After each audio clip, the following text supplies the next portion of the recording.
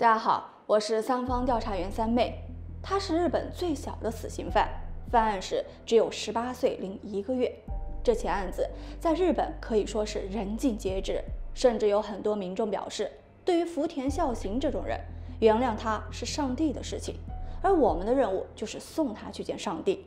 那他究竟干了什么，能让全民如此唾弃？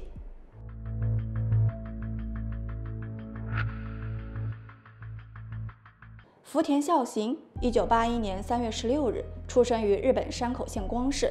他的父母感情一直都不好，父亲经常对母亲大打出手，导致母亲患有精神疾病。也有传闻说，福田的出生便是他父亲玷污其母亲后的产物。两年之后，福田的弟弟出生，一家四口的日子过得很是糟心。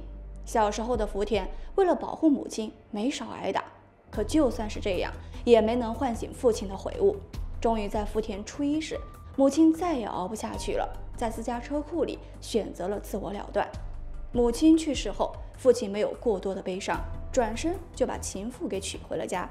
福田为此经常离家出走，他觉得妈妈不在了，这个家也就没有了任何牵挂。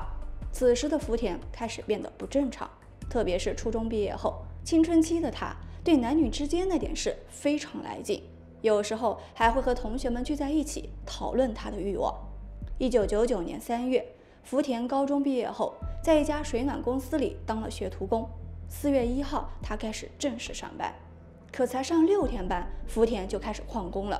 九号在朋友家玩了一天，接着就是双休，然后十二号、十三号，他又在电玩城里玩了两天游戏。四月十四号这一天。他干脆决定不去上班了。为了避免家人的怀疑，他早上七点穿上了工作服，假装出门上班去了。实际上，他又去了朋友家，聊起了他内心的欲望。他决定今天一定要解决自己的邪火。到了中午，他正常赶回家吃饭，脑子里却在计划着该如何去实施。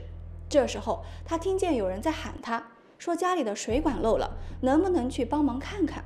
对此，他没有任何回应，继续往家赶，脸上却露出了一丝邪魅。福田匆匆吃完午饭，背上了检查包，在检查包里，他还特地准备了一些胶带、绳子等工具，来到了自家所在的冲田公寓，以上门检查排水系统为名，准备从十栋到七栋，挨家挨户的按下门铃，看看哪一户只有一个女性在家的。是的，他已经疯了。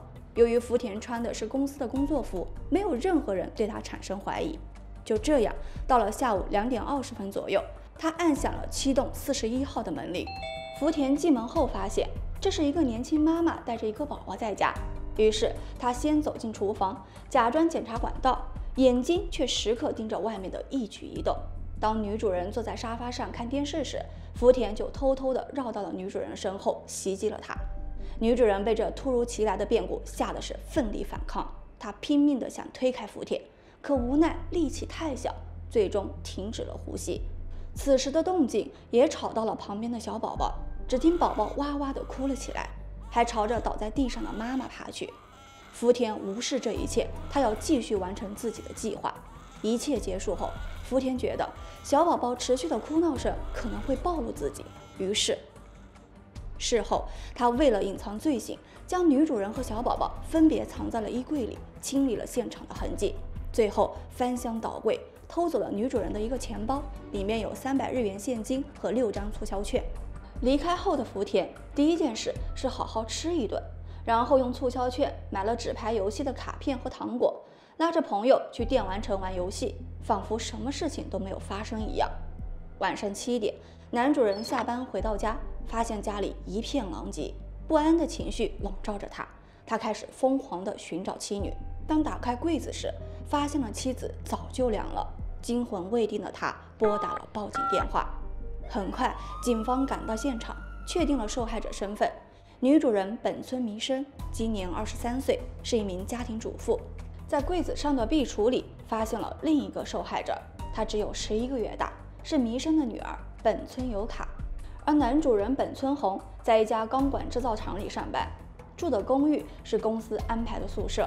本来一家三口过着平静幸福的生活。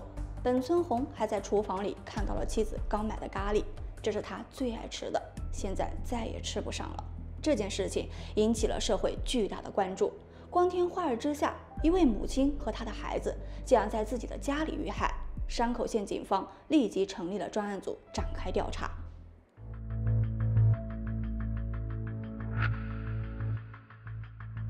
四天后，福田被逮捕。这是他被捕时的照片。当时他刚满十八岁。通常情况下，二十岁以下会作为未成年人进行受审，送往家庭法院。一九九九年五月八日，福田被送往山口家庭法院。但由于福田的罪行极其恶劣，不到一个月的时间，家庭法院就将他交给了山口区检察院。检察院随即以谋杀罪起诉了福田。一九九九年八月十一日，一审在山口地方法院开庭审理。只见福田穿着拖鞋就走入了法庭，在法庭上，他承认了检察院对自己的所有指控，陈述的内容与起诉书是一致的。虽然检察官想以死刑来判，但辩方的论点是应当避免死刑，因为福田只是预谋了性侵而意外造成的死亡伤害，并不是蓄意谋杀。况且他也在法庭上向受害者道歉了，但这个道歉所有人都看得出来，并非发自福田的内心，只不过是辩护律师推了一下福田后示意他做的表演而已。只见穿着拖鞋的福田站了起来，对着本村红鞠了一个躬，说：“真是对不起，我做了无法宽恕的事情。”这句对不起也让法官认定是福田已经有了悔改之意的重要表现，而这可以帮助他减刑。再加上福田未成年人的年龄，两千年三月二十二日，山口地方法院判处福田无期徒刑。检方和本村红对这一结果感到愤慨。一个星期之后，他们提起了上诉。当时有一个检察官说：“我也有一个年幼的女儿，所以我无法想象有人能如此残忍地对着一个还不会走路、正爬向母亲身边的婴儿下手。如果司法不能给这样的人严重惩罚，”那么司法还有什么用呢？我必须告到底，哪怕失败了一百次，我也要尝试第一百零一次，为推进司法改革而奋斗。本村红坚持了整整九年，他终于成功了。在这九年里，他不仅为妻女讨回了公道，还改写了犯罪被害者的基本法，而这些改写都来自于本村红的切身体会。比如一开始的逮捕，福田就因为少年法的保护。不管是媒体还是警方都没有披露他的真实姓名。与之相反的，自己妻女的姓名、地址，甚至是照片，全部都被公开。每一次报道都深深刺痛着本村红的心。不仅如此，当本村红抱着妻女的照片进入法庭时，却被告知不允许这样做，理由竟然是被害人的遗照会严重影响犯罪嫌疑人的心理和情绪。最后，在法庭上。他不能发表自己的任何观点，只能站着旁听，因为法庭的座位已经被各大媒体给占据了。本村红无法理解为什么没有人考虑到受害者家属的权利，于是他提出了自己的诉求，而这些都得到了当时的首相小渊惠三的正面支持。犯罪受害者的基本法修订在国会上是全数通过，这其中包含有保护和救助犯罪受害者基本法律。关于在刑事诉讼中保护犯罪受害人的附带措施的法律、刑事诉讼法等等，帮助犯罪受害者恢复或减轻他们所遭受的损害。比如，披露消息时有义务的适当考虑不伤害受害者的荣誉，或是不打扰受害者的生活。还比如，原本只能在旁听席上旁听的被害者家属，可以在法庭上陈述自己的意见。于是，在两千年九月七日的二审中。本村红光明正大的抱着妻女的照片出现在了法庭上，这在广岛高等法院历史上可是第一次。不仅如此，在庭审过程中，本村红也作为受害者家属发表了自己的意见，坚持要判处福田死刑。虽然在法庭上，法官严厉指出了福田罪孽深重，但他的年龄仍是量刑的一个重要标准。二零零二年三月十四日，广岛高等法院维持了一审的判决。驳回了检方判处死刑的上诉。法院认为，福田在犯罪时只有十八岁，内心不成熟是非常明显的。况且，福田还有悔改的迹象，未来拥有很多可能性。面对第二次的失败，本村红难以接受，他甚至向媒体发表了一个激进的声明。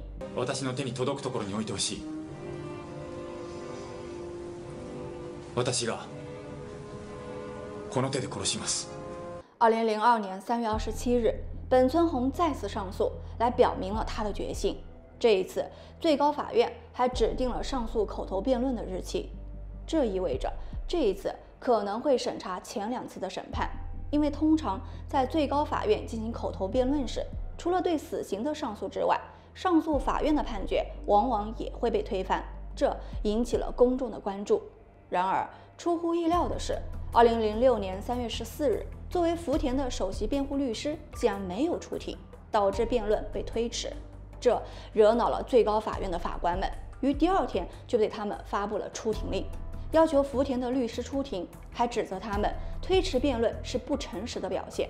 这也是有史以来第一次出现这样的情况。而福田辩护律师没有出庭的理由，你怎么也不会想到，只有九个字：还没准备好，能否改期？这里就不得不提一下福田的超豪华阵容律师辩护团，来自于全国二十一个坚持废除死刑的民间律师组成的志愿者团队。主审律师是安田好宏，毕业于一桥大学法律系，主张保护弱者。自一九八零年成为律师以来，经手的案子大多被判为无期。当福田被家人放弃时，他觉得这孩子是个可怜的弱者，决定为他辩护。安田的人气非常高，因为他的加入瞬间就吸引了二十位律师加入了进来，目的只有一个：挽救一条人命。但律师们不知道的是，他们拯救的不是一个孩子，而是一个恶魔。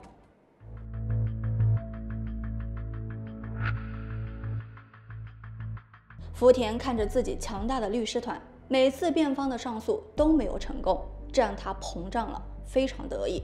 嚣张的他，甚至在2006年4月18日的最高法院的法庭上，推翻了之前已经认下的指控，称自己只承认过失谋杀罪的罪行。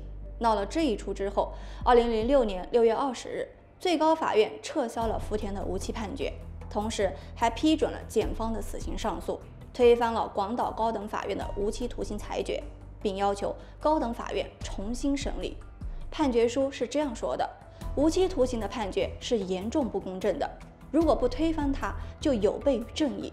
这也成为了福田一案的转折点。福田意识到年龄已经不是挡箭牌了。二零零七年五月二十四日，在广岛高等法院的法庭上，福田的主力辩护律师安田又开始整心火，发表了一系列的新见解。第一，福田对本村弥生和尤卡并没有杀意，他是因为从小失去母爱，对母爱特别渴望，所以他进入家中拥抱弥生，只是为了获取母爱。第二，弥生激烈的反抗，导致了福田的手滑到了脖子上，双手抱得太紧，才造成了弥生的窒息。第三，面对弥生的玷污，只是福田的一个错误意识，因为他在小说《魔界转生》中看到，这是一种复活的仪式。而实际上，《魔界转生》一书中连半个字都没有提。第四，尤卡脖子上的绳子，这是福田为了哄她，在她脖子上系了个蝴蝶结，但没想到结系得太紧了。第五，将油卡放到壁橱里，主要是因为壁橱里什么愿望都能实现，就像哆啦 A 梦一样。福田想得到哆啦 A 梦的帮助。第六，递交了一份福田的心理鉴定结果，发展迟缓，约为十二岁。这些辩词一出，立刻引起了全民沸腾，甚至还有电视频道连续多日对辩护团们进行跟踪，还有人发恐吓信给律师们。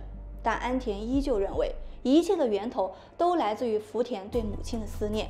本村红听了非常生气，指责安田已经超出了愤怒和嘲笑的范围，他一定会用自己的生命和这二十一个专业律师辩护团抗争到底。二零零七年九月，安田带领的律师辩护团们收到了八千零九十五份纪律处分的请求，而本村红这边，更多的志愿者们表示支持他。不仅如此，检方还拿到了一个重磅级的证据，就是这些年福田写给他朋友的书信，能作为证据的足足有二十三封。然而，作为受害者家属的本村红却没有收到过任何致歉信。面对意想不到的证据申请，辩护方激烈抵抗。他们称，在没有本人同意的情况下采用这个证据是违反了通信秘密的宪法。面对辩护方的抵抗，法官只说反对无效。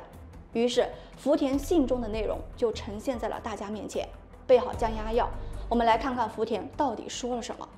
本村红先生总是喜欢出风头，比我聪明多了。在当今这个世道，终究是恶人获胜，黑社会逍遥法外，白痴逍遥法外。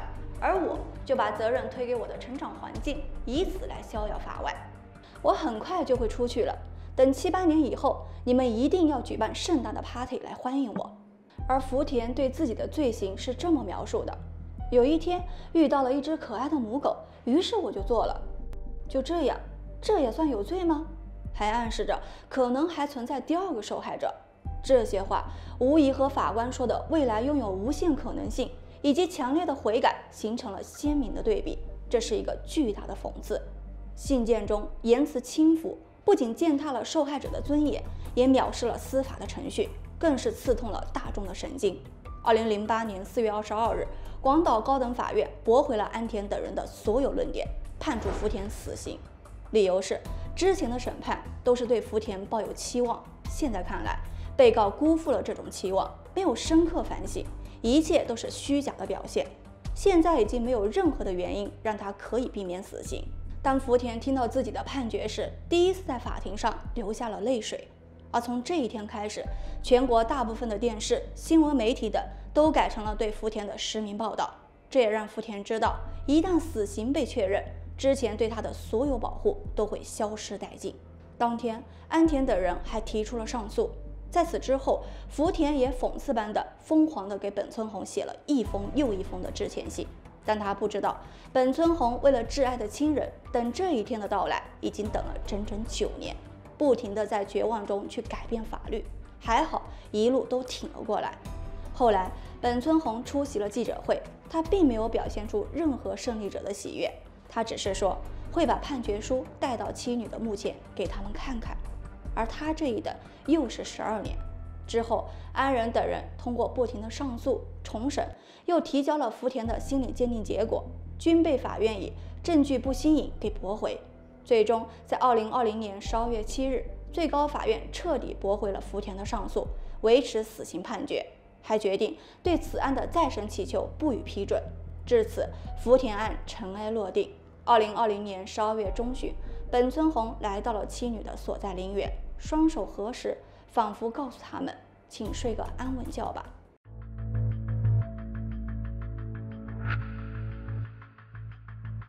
案发十三年后，受害者弥生的一位邻居回忆道：“如果尤卡还活着，就和自己家的小孩一样大了。”他们会一起上学，一起玩耍。对于最高法院的判决，他是支持的。而事发地点冲田公寓，由于住宅老化，已于2019年拆除。当初福田的父亲和本村红在同一家公司上班，但两家并不认识。福田被捕后，他便辞去了职位，但他并没有向本村红道歉。2006年，福田的父亲在接受采访时表示，他不能为儿子的罪行承担责任。该道歉的是福田，而不是福田的父母。福田目前在广岛拘留所的死囚区等待被执行，他再也等不到朋友们为他庆祝的 party 了。用生命来补偿生命是理所应当的。正如本村红说的一句话：“只有犯罪者被判处死刑时，才会真正的去反省、忏悔自己的罪行。”那以上就是三妹的调查报告了。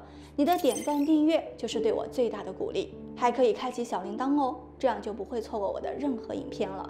小妹感激不尽，我们下期再见。